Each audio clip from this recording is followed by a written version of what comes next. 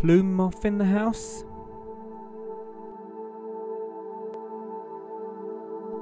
There's about 35 different species in the UK. And I'm pretty sure this one is a common plume moth.